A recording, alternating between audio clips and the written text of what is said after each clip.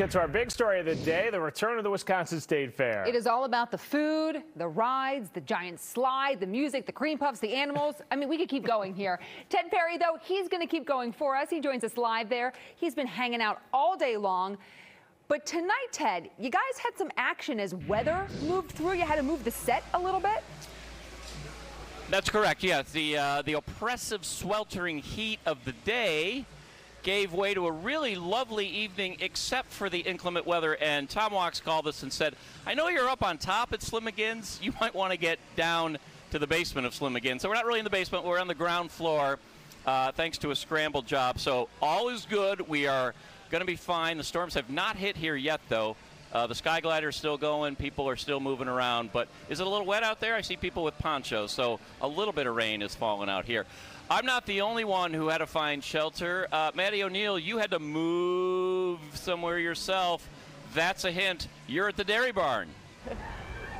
Yes, Ted, right by some nice cows who we're hanging out with. Uh, but it's because we got this nice little overhang here. It literally just started raining, not too bad. And you know, one guy I was talking to earlier was actually like, I'm excited for the rain. I just want it to cool down, and it really is cooling it down out here after this really hot day. But the people I talked with said it was all worth the heat, the rides, all the food out here. We talked to people who it was their first time here. We also talked to people who have lost track of how many times they've been here. They were all equally excited for the fair to kick off this year. I feel good because I waited like a long time. Like you wait a long time just for it to come. In three, two, one. The waiting is over, and it's off to the races. On the Wisconsin State Fair's opening day, some aren't playing around.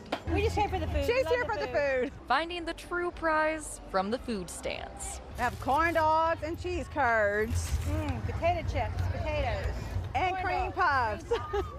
Everyone has their favorites. These are the best. Oh man, they're just so soft, they're moist, they're delicious. Oh, and they're messy. Whether it's what you're eating, probably the fire Oreos. It's that corn, the Mexican corn. That's my favorite food. Drinking. The lemonade. The lemonade is good. Or braving. I like the tornado. It's actually the slingshot where it shoots you in the air and like flip you. The zipper. This crazy for real. Even on a sizzling day. It's just real hot. Fairgoers say they're enjoying the ride. It's like a good vibe. It's a lot of, it's just a lot of fun. It's everybody talking and enjoying themselves and spending a whole bunch of money on food and, yes. and drinks and stuff. The fair itself, a Wisconsin favorite, that's just getting started. Come to the fair! Enjoy the rides and have fun.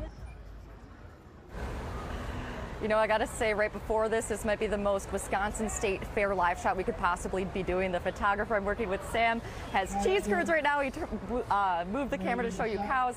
Can't get much better than that. And hey, we still have 10 more days of the fair after this. Goes through Sunday, August 13th. Live at the fairgrounds, Madeline O'Neill, Fox 6 News.